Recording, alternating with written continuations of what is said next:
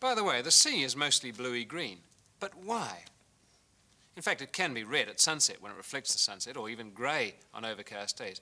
But most of the time it's blue or green, depending on the way you look at it. In fact, if you look at this bit here, most of it looks blue until you come around the headland, and then you see bits of green in it.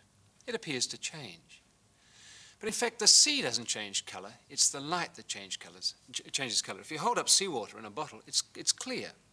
What it does, though, is act as a filter to certain kinds of light.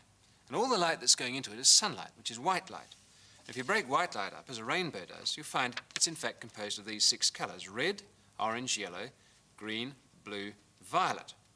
And you put them in a wheel like that, and when you do, you find that the colours that are opposite each other, the complementary colours, really do behave rather in opposite fashion.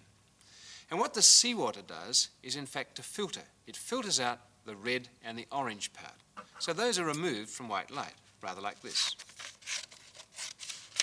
And if you do that, of course, what you're left with is light that's very rich in green and blue.